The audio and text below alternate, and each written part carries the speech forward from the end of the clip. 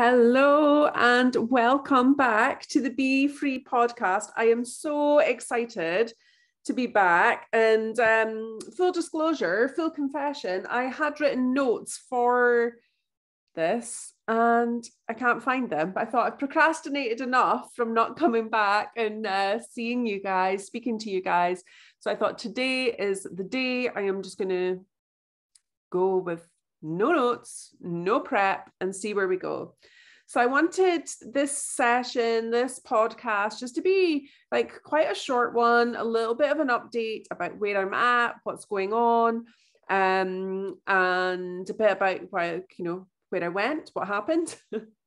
um, so I am back today recording this. I am feeling so much better than I have done in months mentally physically, I am still experiencing some physical challenges. But yeah, I want to rewind the past year and just explain a little bit now with a bit of hindsight, lots of healing, and um, yeah, trying loads of different things, just kind of where I was at. So I closed my business in October and um, closed down my membership site, stopped seeing clients, stop taking on new work. Um, because I just I wasn't getting better. So at the end of last year, I experienced a number of things that at the time were challenging, but now looking back, they were probably quite traumatic. And I wasn't fully taking into consideration the impact that that had on me mentally, physically, emotionally and to run through those things. So basically, the end of last year, and I know I have spoken about these things in other podcasts, but I'll just condense condense the story. But um, the end of last year, we were working towards working through the adoption process, and um, I was experiencing pain in my breast, and I'd gone to the doctor, and the doctor had found a lump in my breast. So I got referred, and um, went to the hospital for a mammogram. It happened really, really quickly. And I have a bit of a phobia of phobia of hospitals. But I felt so protected that day and so held. And I felt my mum with me and I found angels with me. And my husband said to me, Wow, like I've never seen you so calm. And um, we went in and thankfully I was told there and then they did the mammogram. I just had to wait and um, met with a doctor who told me it was due to hormonal changes. Um, so the lump was nothing to worry about. It was hormonal changes, and it was just kind of the age that I'm at. And following on from that, my husband and I went for a coffee, and we went to we actually went to a coffee shop at a church which is close beside us. And I always just I love being in that space. And I said to my husband that I think now is the time to stop this adoption process because another part of that story was um, we'd got told like two days before that they were cancelling the adoption, um, the next stage of the adoption until indefinitely into the new year because they didn't have, I can't remember what they said, they didn't have enough people or whatever to organize this certain part of training. Um, and we'd been pushing and pushing and pushing. And I felt like I'd been pushing a lot through my life. And I just decided, you know what, maybe this is the time. This, um, you know, even the, the, the, what's the word? The specialist at the hospital is telling me, you know, hormonal changes, different stage of life. And I thought, you know what, it's a different stage of life. Maybe that is not my destiny. Not, that is not my path to fulfill. So we made that decision to focus on an easier life, to enjoy our lives as a couple, our kids are older, to kind of embrace life differently. Now, at the same time, I was doing a lot of work in my business and had been for the past two years because of COVID and pivoting. And I'd had my most successful year in business and everything was going really, really well. But there was so much pressure. I did feel a lot of pressure to continue to keep going, to expanding, to grow. And I was working with a coach at the time, and he kept saying to me, Susi, you need to stop, you need to stop, you need to take a break. And I'm like, no, I'm fine, it's all good. He's like, when did you last take a holiday? I don't know. He's like, just stop. Um, but of course, I didn't. I kept going. Um, and then in the December, my husband, well, I got COVID and was bedded for two weeks, so was off work. Then my husband got COVID and was hospitalized and on oxygen. Um, so he was in hospital for 10 days, I think it was. And we couldn't get in to see him because of COVID, and it was over New Year, and it, was just I had some other things going on with um, one of my children, which was really quite stressful. And it just started off the year in a really crazy time. And then, so and then from then, um, carried on, got to my around my birthday, and I wasn't feeling great. There was a couple of things that happened. Um, my perimenopausal symptoms were really dialing up. I decided I was going away um, up to Findhorn, which I absolutely adore, to do some work and to start my next book.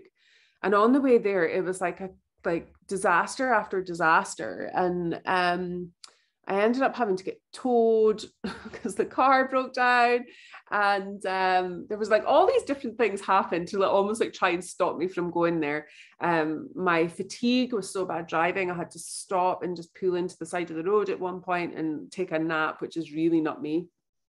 And um, once I did eventually get up there, I managed to get the tow guys to drive me through. I had to leave my car at the garage. And um, so I was up there, no car, no family. And I just felt so alone. And I ended up in, I was in such a dark space. And um, I was on the phone to my husband and he was like, just come home, just come home. And I'm like, no, it's okay, it's fine. And the next day, I went for a walk and I'd never walked to the beach from where I was staying, but I went for this walk and I kind of got a bit lost. and I um, ended up finding this labyrinth, and I walked this labyrinth, and um, Archangel Michael spoke to me and basically told me that I had nothing to prove. I needed to stop. And I was told the same. I went into a meditation space in Findhorn, which is called the Sanctuary. Um, and I was in there, and same thing, the angels were with me, telling me that um, I'd, I'd done enough. um, and I went, I did, you know, I found the beach, sat there, wrote wrote a poem or a meditation, and um, the next day or so, I think it was two days, my husband came up to pick me up, and we had to go and get the car and came home. So that was in the March, and then I just wasn't getting any better. My balance was getting affected. I was so fatigued. I was having to sleep between clients. Um, my vision wasn't great. Um, and then because of all these physical things that were going on, I was getting more anxious and my mood was affected. And then in, in May, I decided um, I attended an event. By this point, I couldn't drive or do anything. My husband drove me to an event and I broke down at that event. And what was coming through, my mom was there, and it was like this divine feminine thing and the ladies were so beautiful and holding me and hugging me and it was just like just stop just stop. So oh, getting all emotional. I took the month of may off work um, and i had to pay some other people to come in and cover things for me. Obviously i'm self-employed so i don't work i don't get paid.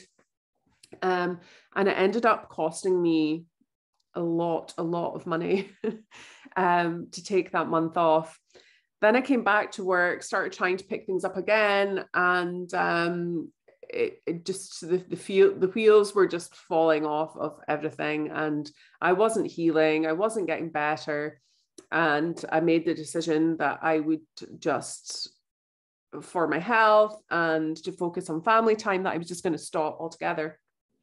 So um I made that decision. And again, it was a very costly one because I had to buy buy coaching clients out of contracts and all these things. Um, so to make these decisions has cost so gone from you know being the most successful year that I'd had in business to not being great, paying out thousands and thousands. Um, and you know, a lot of fear around that, a lot of fear around the stopping. But ultimately, somewhere in my heart, I knew you're absolutely supported in this. You're absolutely supported in this. And then I started and began my healing journey. So I want to keep that for another podcast and let you know all the different things that I've been doing. So basically, um, I have discovered that I had um, a vestibular condition, vestibular dysfunction. So if anybody's ever had kind of labyrinthitis, vertigo, any kind of balance issues, I absolutely feel your pain. Um, so basically, my eyes took over my balance system. And um, what that meant was if things moved, I felt like I was moving. So driving was obviously hideous um, and things like that. So I had that. Plus, I had the hormonal issues. Discovered that I had parasites. So I'm actually mid parasite cleanse just now. Um, it was just like a catalogue of things, plus the trauma of the year before.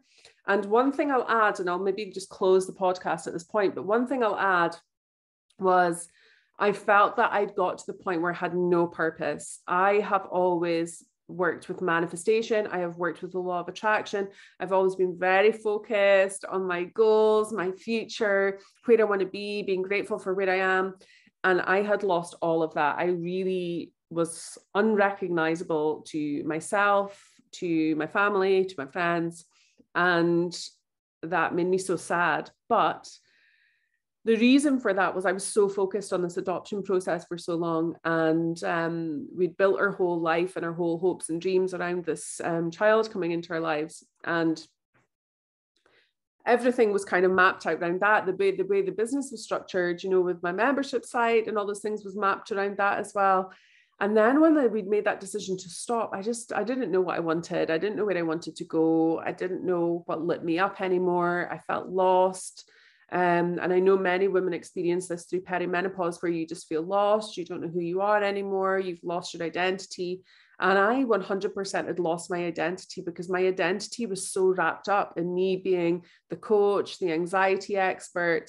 And inside, I felt like a fraud because I was experiencing anxiety and really dark depression at certain times of the month um, that I'd uh, quite scary. And um, I would love to say that today I made a vision board and I'm like literally beside myself with that. So that has taken me probably like the whole part of this year to create this year's vision board. Um, and I love it and I'm very inspired by it. If you watch this on YouTube, I'll turn it around actually, I can show you. Sorry for the noise if you're just listening. This is my vision board I have made today. Um, so I'm feeling inspired again. I'm feeling more like me, as I said, mentally in a lot better space. Um, I started HRT, hormone replacement therapy. There's no doubt that that has made a massive difference.